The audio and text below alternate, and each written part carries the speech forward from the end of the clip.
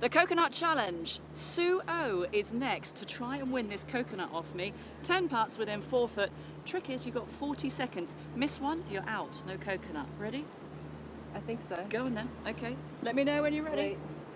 I need a 40 find a part where I can seconds. Starting when the first ball struck. when the first ball struck. Okay. Okay. Okay. Okay. One.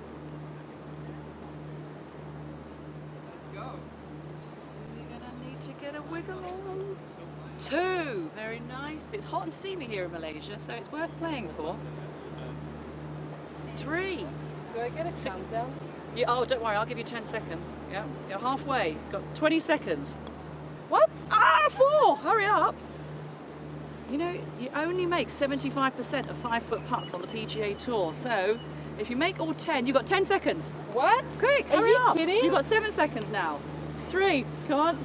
Can you do it? Two. You've got one. One second, one No. second, one second. Nice work! That was like maybe that's how I should play. You know what? This could speed up play. If you play for a coconut on every hole, this could be the proper didn't know solution to the problem. 40 seconds was a bit fast. Well, you- I have no idea. Thank you. Do You're I get it? You do, do. I actually get it? 34 events on the LPGA Tour. This is what they should be playing for. That's the way Yeah. to speed up play.